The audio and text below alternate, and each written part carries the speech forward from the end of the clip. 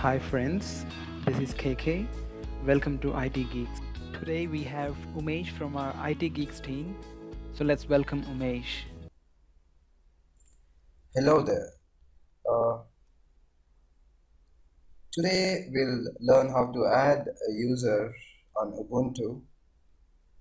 Uh, actually, what I'm running is uh, 1504 Ubuntu and let's see I will show you how do we add a user.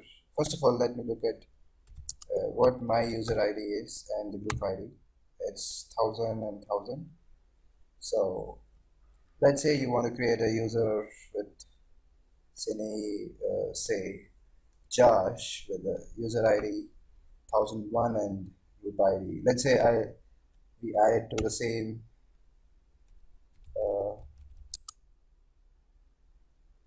group as Umesh, that's 1000.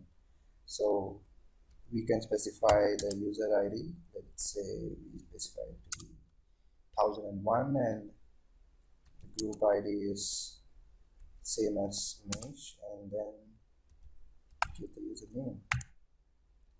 Since I'm not this root, I don't have the permission to do uh, add a new user. So we will add sudo of the command and since Umesh is a uh, sudo user I have the privilege to do this and tell the password for Umesh. So I think we have added the user Josh. You can see uh, the username is uh, username is Josh and the UID is 1001 and the group ID is same as Umesh. If you want to see uh, where the entry is for this user, you can actually see that. Yep, we have it here. So we also can set the password for the Josh Josh, one, two, three.